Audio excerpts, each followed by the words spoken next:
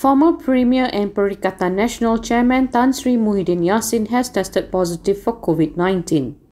Muhyiddin said this was detected in a RT-PCR test he took on Wednesday morning and that he is only experiencing mild symptoms.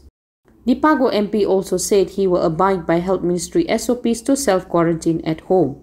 He has also advised those who may have been his close contact to abide by the protocol set by the Health Ministry.